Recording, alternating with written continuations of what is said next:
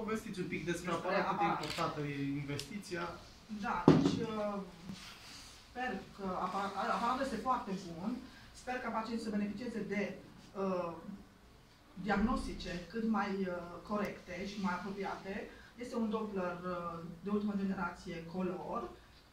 Uh, ce să vă zic? La ce vă ajuta Ce mai face exact? el? Da, uh, ce face? Face ecogra- ecocardiografie care va pune diagnostic corect ca- cardiologic. Deci asta face. Și EKG-ul care ne ajută la fel. Ambele aparate sunt uh, complementare, adică diagnosticul cardiac se pune pe EKG, ecograf, bineînțeles am avea nevoie și un- de un test de efort și de holtere, de tensiune și de EKG.